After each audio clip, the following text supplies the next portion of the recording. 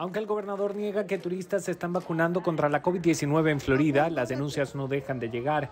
Para la alcaldesa Daniela Levin Cava, mayores controles estarían precisamente en manos de DeSantis. Yo he, escuchado que está pensando eh, tratar de controlar un poquito, pero hasta que él dice que no es permitido, eh, los hospitales y todos nosotros no podemos ni eh, preguntar. De acuerdo a la alcaldesa, los suministros de vacunas no son suficientes todavía. Asegura que a inicios de esta semana más de 80 mil personas intentaron conseguir cita y tan solo 3 mil lograron su cometido. Estamos pidiendo al Estado, el gobernador, el presidente que nos da más.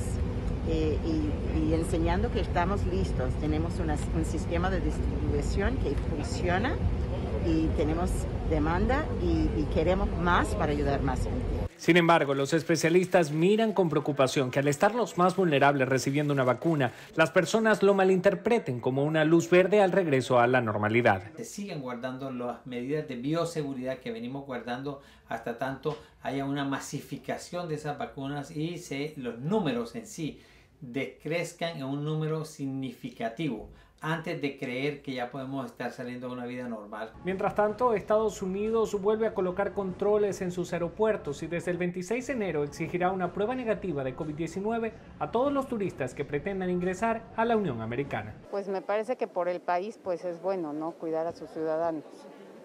No, mejor que quiten eso.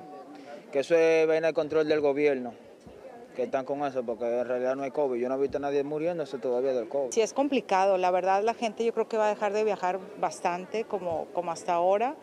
Y bueno, la gente que está viajando es porque realmente tiene que viajar. De acuerdo a la alcaldía de Miami-Dade, en los próximos días un nuevo centro de vacunación será habilitado en el zoológico de Miami. Y mientras más vacunas arriben, mayores lugares serán configurados para masificar la inmunización.